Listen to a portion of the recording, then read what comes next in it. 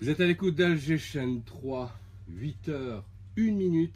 Mahrez Rabia, la chaîne 3 de la radio algérienne, est en train de battre le record d'Afrique d'animation non-stop. Mahrez, bravo, you are a champion. Euh, merci à vous en tout cas. Merci à vous, merci à la chaîne surtout parce que parce que le,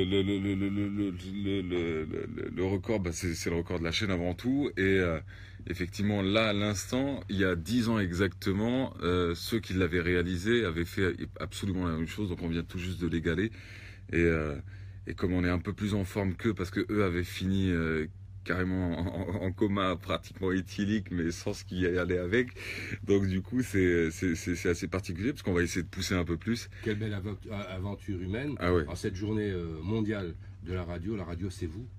La radio, c'est vous, c'est la thématique qui a été choisie. Et, la radio, c'est tous ces auditeurs qui nous ont donné de la force. La radio, c'est tous ces producteurs et animateurs qui nous ont ouvert leurs émissions. La radio, c'est tous ceux qui ont cru en, cette chaîne et qui nous ont permis tout simplement d'aller jusqu'au bout et de, et de, réussir ce fabuleux trophée et ce fabuleux pari de, 50 heures d'antenne quand je vois que de l'autre côté de la Méditerranée, ils étaient en train de faire un tantano, comme on dit, pour, pour 35 heures et que, que, je me dis avec 10 fois moins de moyens, on a réussi à faire 50 heures, ça ne peut être qu'un honneur que de travailler dans cette chaîne et, j'espère que vraiment pour tous ceux qui travaillent dans cette chaîne, ils ressentent ce même, euh, cette, euh, cette même sensation de, de, fierté de travailler, travailler ici. Pas, pas, pas, en tant que Mahrez Rabia ou en tant que Sarah ou en tant que, que Jamel ou, en tant que Walid, mais plutôt en tant que, membre de la chaîne 3 et j'espère que ce sentiment est partagé.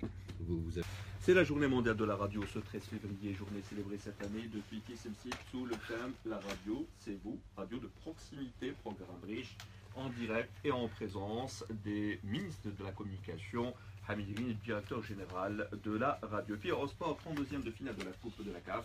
C'était hier, le de perd son match en Ghana, mais revient avec un précieux but inscrit à l'extérieur et qui pèsera lourd lors de la phase retour.